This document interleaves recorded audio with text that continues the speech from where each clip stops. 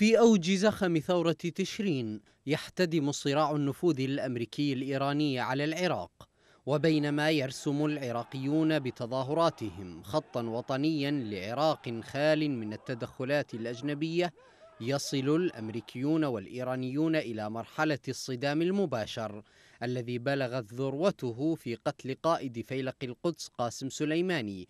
ومعه نائب هيئة ميليشيا الحشد أبو مهدي المهندس وعدد من قيادات الميليشيات. تقاطع مصالح المحتلين ووصوله إلى حد تنازع النفوذ وإن كان ذا تأثير على الساحة العراقية فإنه بلا شك يعطي ثورة تشرين دافعا للمضي إلى الأمام.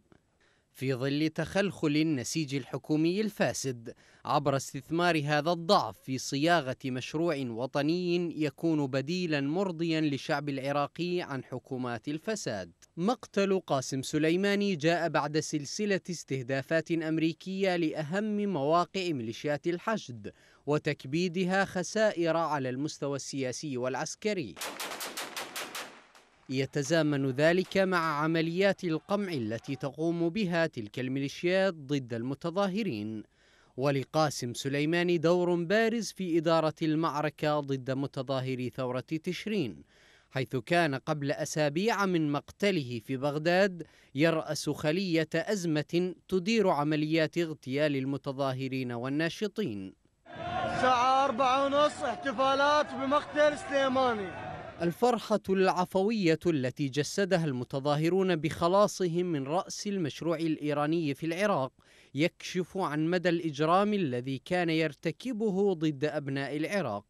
المستشار السابق للأمن القومي الأمريكي جون بولتون يرى أن مقتل سليماني يمثل بداية لنهاية المشروع الإيراني وهذا التصريح يدل على أن هذه العملية ليست النهاية للضربات الأمريكية التي تستهدف الميليشيات.